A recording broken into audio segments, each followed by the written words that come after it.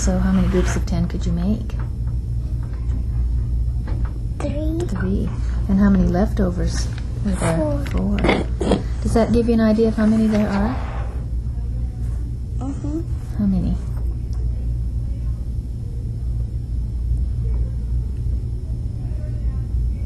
Thirty-four. How'd you find that out? How'd you know?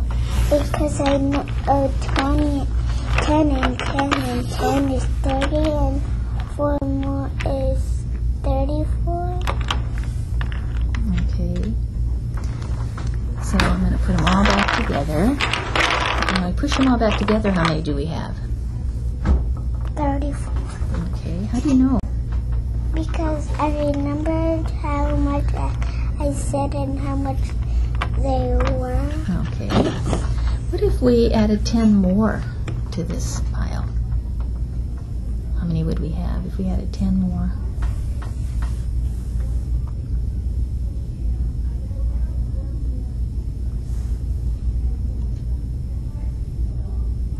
Forty-five. How'd you think? What, how were you thinking about that? How'd you figure it? What were you doing in your head when you were trying to figure that out? Mm, I got it thirty-four. Then it added more there. Then I, I knew it was forty-five. So did you go 34, 35, 36, 37, like that, trying to think of 10 more? Is that what you were doing? What if we had this 34, but we took 10 away? How many would be left?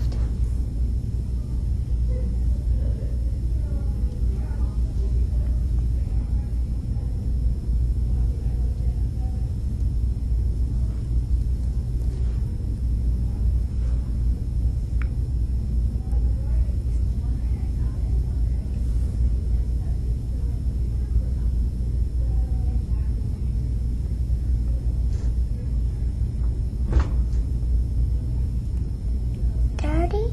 How'd you figure that one out? I thought I, if it was thirty, I guess. Kind of guess, trying to think about taking some away, and that's kind of a guess that you might have. Okay.